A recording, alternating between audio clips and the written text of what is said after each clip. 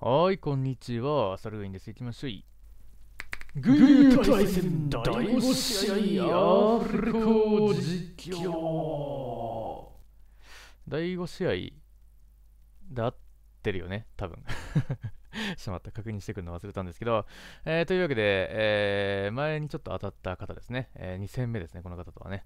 で、私がとりあえずやはり一度は使わなければということで、1回だっけな、2回ぐらい使った気もするけど、えー、警告ですね。はい。やはり私といえば、朝鮮を使っていきたいということで、えー、久しぶりですね、軍友団警告。うん。一応強化されたメンバーが、サジだけ？あ、でもサジ、確か強化されたんですよね。確かね、この時。うん、もう前のバージョンなんですけど、トービンどうだったかな？若干怪しいですが。うん。じゃあこんな形。えー、一応ね、呂布とか多いかなと思ったんで、ワンチャンサジいけるでしょうと思ったんですが、ただお相手の方のデッキがですね 苦手なんですよね。しかも、でも珍しいですよね。7枚って、なんか珍しい気がしなくもない。どうなんですかね私のまあ対戦経験が乏しいので何とも言えないんですけど、えー、私の好きな戦乙女ですね。私結構5枚とかで組んじゃうんですけど、うん。枚数多い方がね、てかしかもまあ強いですよね。1コスで武力3のメンバーが実は結構いるコスト比がちょっとわかんないけど、でも多分、長子亭さんとテイちゃんが1.5コスで、それ以外みんな1コスなんだよね。てか結構強いな。スペック高っ。1コス34とか1コス37とか、結構スペック高いですね。群雄女性陣。うん。へえ。なるほど。ということでね、見ていきましょう。やっぱ結構使われてますね、群雄デッキ。ただね、これ無理なんですよね、ぶっちゃけて言うと。結構苦手。うん、警告、ね、感銘警告ならともかく、普通の警告って、開幕で結構白ダメ取られると、割とまくれないんですよね、後半。うん。開幕でガンガン来られちゃうタイプのデッキにはなかなかきついです。あとやっぱ、わらも結構きついですね、内乱戦挑めなくなるんで。うん。さあここはエリートのやりを出したいとか思ってますがでここはサジが結局長子亭さんにサジ踏ませたかったんじゃないの？これもう位置が。うん。これは読めたよね。まあ、読めなかったかも。柵ないところから来られるパターンもあったからな、うん、結構柵なしないところから来るパターンがよくあってでも本当真正面から来てくださいましたね。うん。あえて柵をスルーするというね流れもよく見るんですがもうこれはね地獄ですしかも連関にしちゃったんですよね連関じゃなかったなただね私のチョイス的にあんまりなかったんですよねうんこれ結構きついですよねで、ちなみに2挑戦結局工場に回しちゃったんですね。2挑戦いつも塗るんですけどね。うん。もうね、防戦に集中しちゃってますね。一発工場入れたら塗ろっかなみたいな感じで頂点結構塗りに回すんですけど今回もう塗りに回してないですね。サジでコピーするんですけどちょっとサジの兵力がないですね。これ大丈夫かしらね。うん。死になさいよでこのゲンさんそしてまあですよね。大体将軍か、えー、増援がやっぱデフォですね。しかも白付き。白付き将軍。これは生き地獄。うん。そうそう逃げられるか？タグも一応逃げられましたが、これもね、どう割とどうしようもないですよね。うん。こうなると警告舞う選択肢も結構ないんですよね。だから一応警告作るときに、一応まあ別の卓も取るんですよね。うん。いや、サジまだ兵力回復しない。そこで出すと撤退したいからもったいないんじゃないんですか大丈夫か帰れるか？帰れましたね。うん。いや、もう、5割あーこのていちゃんの工場は防げたんじゃないかなー。ってところですよね、まあ、せめて低調整さんをずらしていこうかというようなところなんですけども。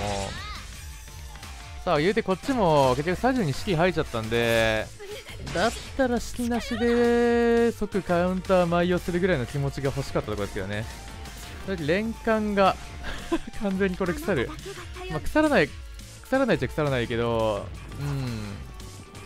ただ言うて守りもどうしようかなというところですよね。結構武力高いっすよね。ぶっちゃけやっぱり1コス武力3弓兵とか普通に結構きついんですよね。うん。どう戦っていくかですよね。これはワンチャン即埋するかどうか。ただ言うて結局開幕の魅力分とかであんまり色差の魅力を感じないですよね。即舞うのはさすがに危険だなとも連関があるにしても。うん。まあ、式級ぐらいから舞うかどうかを考えてますね、ここはね。うん。ただ、第2陣が来ますよ。正直きつい。でもやります。うん。で、ここは、とりあえず、えー、何らかの経力を叩かせてから連関というような流れですかね。でも、ここは下がっていただけたか？うん。あ、違う。これあれだ。これね、はい、これなんですよね。はい。これね、すっかり忘れてましたね。うん。これだから開幕用にこっちも将軍か増援だったら耐えられた。あ、将軍っていうか、うん、増援だったらだね。ここは将軍って言ってもしょうがないところですけど。これね、ゲンさん苦手が強いんですよね。これ落ちるんですよね。うん。これはさすがに群雄使いのことですね。私、ゲンさんの毒ね、あんまり使ってないんですけどね、やっぱ2掛け強いですよね。1掛けでも結構減るんですよね。なんでこっちはもう挑戦しょうがないんで、もうこちは攻め上がるしかやることがないということで。うん。さあ、どうしようかなというころですよね。いや正直かなりなかなかの相性が なかなか地獄のような相性ですが、まあ、こういうこともある。これ連関をかけていく。もう連関からのトートンで全滅を狙うしかないかというところですかね、これは。うん。あまり正直やらないプレイングなんですが、まあ、逆にこういうとこはあるかもしれない。そして悪地形にいたせいで逆にこう 合流が遅いっていう。うん。これ、テイちゃんですね。まあ、実際、結構、テイちゃんって開幕との相性いいっすよね。開幕攻めてリード取って、ワンチャン相手の城落城まで持ってくるんだったら、内乱プラステイちゃんとかで、相手部隊を取って、落城まで狙っていくという、このスタンスですね。うん。弱体化したとはいえ、なかなかですよね。さあ、ここで満を持して、めったに使わないトートン。まあ、なんだかんだでね、武力上昇は下がったけども、それでもまだまだまあ、ただ、今、やばいっすよね。角割とか 角割とか角割とか角割とか言いますからね、今ね。うん。なんとかケイちゃんの槍を消して、弓を出したりとかですね。トービン頑張ってくれ。うん。ここまで来たらやることは一つ。落城、落城を阻止すること。それしか私にはもうやることがないですね。さすがにここからまくるのは、なかなかですね。あー、なんとか、なんかケイちゃんが切れる前に、逆か。ケイちゃんが切れるところまでは粘りましたね、トービンね。これ、ケイちゃん倒したいですね、確かね。さあ、実施。いや、開幕あれですよね、まだいろいろやることはあったかな。だから正直悩んだんですよね。ただね、付け焼き場の将軍とか軍友の大構成、あんま育ってないんですよね。育ってないやつやるよりは、しっかりと、いやーでもね、多分連関の選択肢はなかったかな。うん。まあ、一応開幕ワンチャン連関っていう選択肢はあったんですけどねうんさあこれ原始さんの強いです PR 動画ですねアマチ力強いよ動画ですいや実際アマチ力強いんですよね結構減りは激しいんでただ一番ちっちゃいところって結構使いどころは難しいんですけどまあ、ピンポイントで使う分にはなかなか強いしさっきみたいに苦手で舞を潰すこともできるというねうんなかなか勉強になりましたねでここ私ももうね、ゲインスさんの毒なんで、これは毒対毒だなと思って、もうリジュの毒をね、打つことを考えてますね。毒 VS 毒の構図が出来上がったなと私は思ってます。なんだこれ。あ、一騎打ちか。これ、東白との一騎打ち。敵は東白は倒したくない。だがしかし。誰に逆らってんの？いやこの日の一騎打ちは、なんか、乏しかった気がする。あー、東白の、いいですね。夏子さん東白のモデリングがなんか重い 弱って弱はダメ、うん、でも倒しねこれ多分東博へのね島田さんの心遣いがね、うん、出たんですよねさあ今満を持して毒をかけるときお返し毒毒には毒を持ってこれ調停調停は調停調停士であるだ 調停さんを帰らせないぞっていう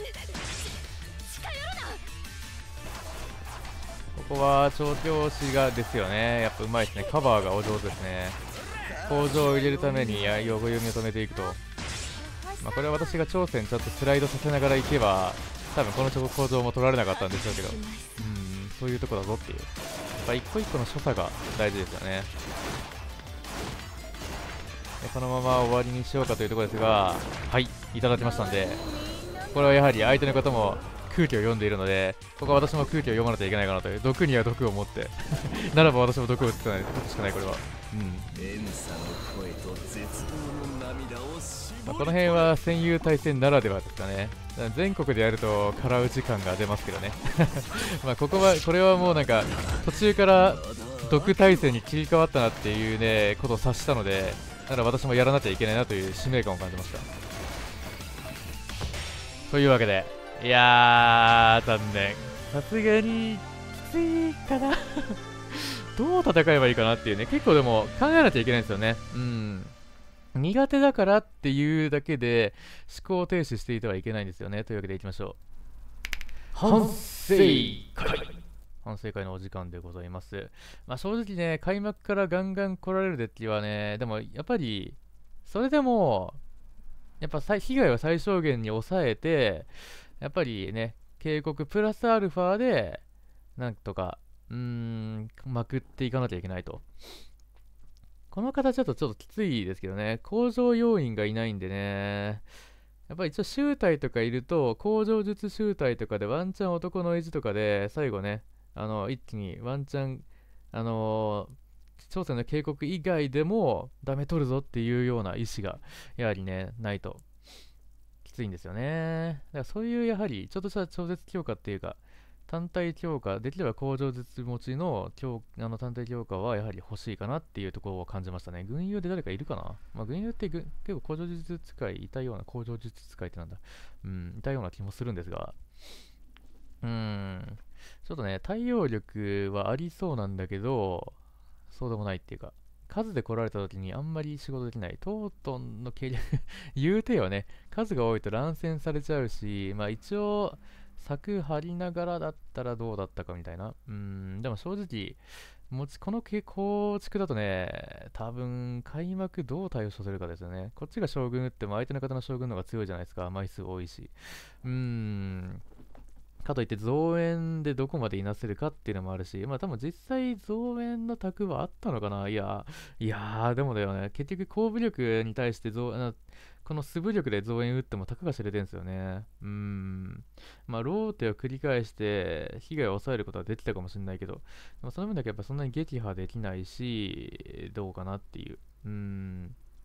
まあサジプラス増援だけでも若干っていうのはあったのかなうーん。実際結構悩んだんですよね。ああ、これは当たってはいけない人だっていう感じだったんですけど、まあ増援、でも軍営の大構成叩いてもねなんだよね。正直、増援は一応弾ついてるけど、軍営の大構成何もついてない、裸の軍友の大構成だし、将軍も確か、まだ今回育ってないんだよね。将軍の選択肢ね、まあ一応挑戦硬くなるから、なくはないんですけどね。実際開幕交通に対して何をすればいいか。うーん、なかなか選択肢がないってことですよね。だからでも、いかにリードを取られないか、だから最被害をいかに最小限に抑えるかっていうのは大事だと思うんですけども、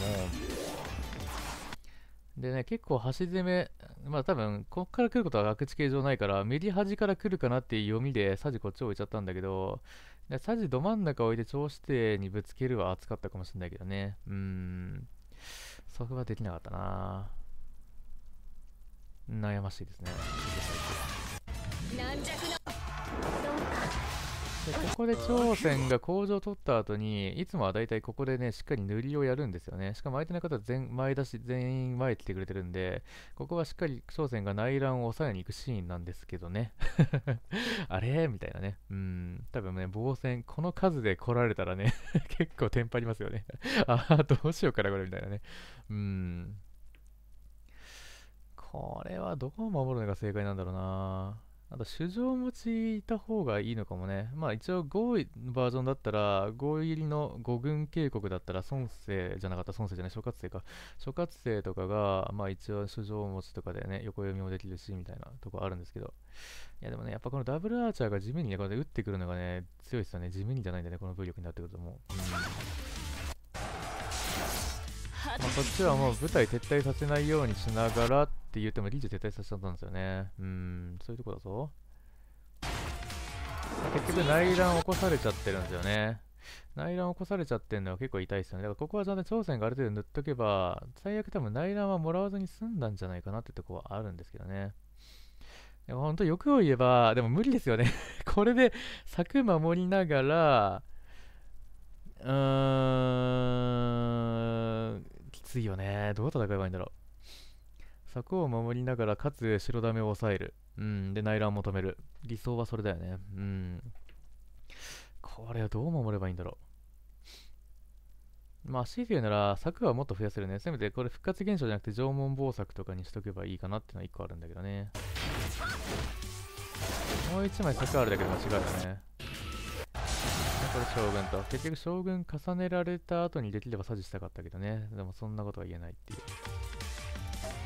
でも正直ね、これね、やっぱりスルーできないんだよね スルーして、でも後半まくれないんですよね、このどうしても通常警告だと。うーん。5割、多分ね、6割ぐらいは、にしたいかな、一応、欲を言えば。うん、多分6割以下になってくると、多分もうね、だいぶまくれないんですよね。うん。まあ、そっからガンガン守りたい。だから、まあ、サジに、あの好きなしでやっていけば少しは違うけど、でもやっぱり、魅力って強いんですよね。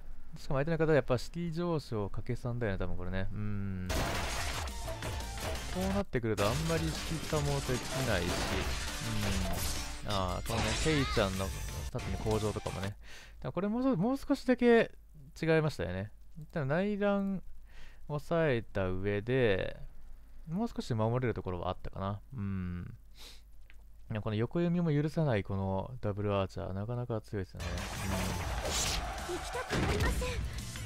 うん。朝鮮が塗ってれば内乱は最悪止められた可能性あるし、ここはやはり、うん、多分だから、まあ、強いて言うなら、ホーグのチョイスホーグのチョイスが多分あんま良くなかったとは思う。うん、やっぱ開幕に対しての連関ってあんまりこう、そうさないよね。結局相手が開幕で多分、まあ、ホーグ入ってくるのが見えてくるんで、だからこっちも対応で打てるホーグを用意するのが多分理想ではありますよね。うん。うん。これ将軍切れるの分かってれば、サジもう少しだけ粘ってもよかったかもね。うん。まあ、強いて言うのは多分増援あたりが一番正解だったのかもしれない。サジ叩く気があるならね。まあ、東園叩いて、将軍かぶせられてみたいなね。で、ここね、テイちゃんの行動ね、これ失敗ですね。これで、トービンが乱戦、トービンじゃねえや、トートンが乱戦する、乱戦するだけでも止められたからね。うん、で、ここですよね。これはね、ぬるかったな。てか20これ出過ぎだしね。うん。もう朝鮮守る夫人。まあ多分ね、基本的にもうこうなると、基本的に朝鮮ガンスルーで、こっちから、あの、全員前出しして、あの あれ叩かれるだけでもきついんだよね。まあそのためにある意味連関が仕事するとこではあるかもしれないけど、そうなってくるとね。うん。でこっちしかも悪地形もろあるから、もう基本避けられて、もうだから朝鮮の弱いところってそこなんですよね。もう基本結構ガンスルーされちゃうんで、うん。特にこんだけのリード取られちゃうともう、あとどうしようかなみたいなね。このカウントで待ってっても相当、65カウントで待ってもね、このリードどうやって取るかだから、自分で結局工場も取んなきゃいけなくなってきて、割とこの時点でだいぶ積んでますよね。うん。だから正直やっぱ開幕系のデッキが多分一番苦手と言っても過言ではないんで、そこをどういなしていくかですよね。この後ですよね。舞うのはいいんですけど、これ、原始さんの目論見に気づけなかったとこね。この悪地形があるんで、全力でゲンさん倒したかったよね。てか、近づけさせちゃダメだった。うん。捕獲欲しかったな、捕獲みたいなね。これね、途中で気づいたんですよ。あ、これ絶対ゲンさん狙ってる。しかも明らかにこの下がっていく。いや、ここで連関か。ゲンさんの目論見に気づいた時点で連関だったか。あー。ちょっと範囲がね、うん、いや、遅いんでね。ど、どの時点だろう。この時点で、ここだね、もうこの時点で絶対狙ってんだよね。だからここで、タゲ替えか。トートン、トービンのタゲを原始さんに変えて、サジ乱戦みたいな。うん。ただ私はもう、あの、来る前にいかに兵力削るかしか考えてなかったんでね、この時ね。だから原始さんノーターゲットだね、ここね。うん。まあ一応、うん、守りの陣を張ったけど、いやでもこれ連関先打ちできないんですよね。うん。なんかなんか叩いてもらってからの連関しかないからこっちは。そこの裏を書かれたね、完全に。うん、お上手。で、こっちもやるしかないから、連関からなんだよね。うん。この後ね、藁に対して持ってるものが全然ないですよね。うーん。というわけで。いやー、きついですね。でもね、やっぱこういうきつい戦いにどうい、まあ、挑んでいくかですよね。まあ、正直、きついのは きついんだけどね。うーん。結構ね、分かってるんですよね。昔から本当、1から警告使ってるから、苦手なデッキは見えてるんですよね。実際結構。うん。こういう開幕でね、取り返しのつかない白ダメを持ってくるタイプとか、もしくは落城、開幕で落城でやってる開幕を打つタイプですね。もう待ってもどうにもなんないっていうところと、あとは、やっぱりリジュの毒とかを結構当てにしてるところがあるんで、あのー、もうあれですよ、回復系ね。だから、2だっけかな？宝山城、ジョジョ回復の宝山城が出た時に絶望しましたね。結構。でエリア大会、結構店内、店内じゃない、なんだっけ、店舗予選か。うん。エリア大会とかよく出てたんですけど、当時。あのー、その時にも、私がずっと警告使ってるのも、相手の方にもろバレなんで、相手の方はめちゃめちゃ放送上使ってましたからね。あー、無理って言いながらやってましたけどね。うん。なんか、徐々回復とか、あとまあ、瞬間的な回復。だから、3の時もチューリとかね、もう回復デッキめっちゃ流行った時ってすんげえ辛かったですね、やっぱ。うん。中リカン、そしてオーディンとかが流行った時は地獄のような、ね、苦しみを味わっていました。でもその時は一応武力でなんとかするっていう構築してたよね。多分毒に頼れねえなっていう、うん。まあ、理事の毒はあくまで選択肢の一つで、だからね、毒依存しない形もやっぱ見ていきたいですよね。というわけで、えー、じゃあ、えー、まあ、今回ね、噛み込みやな。えー、ね、えー、まあ、いろいろと勉強させていただいたという試合でした。ありがとうございました。えー、次に続きます。ではでは。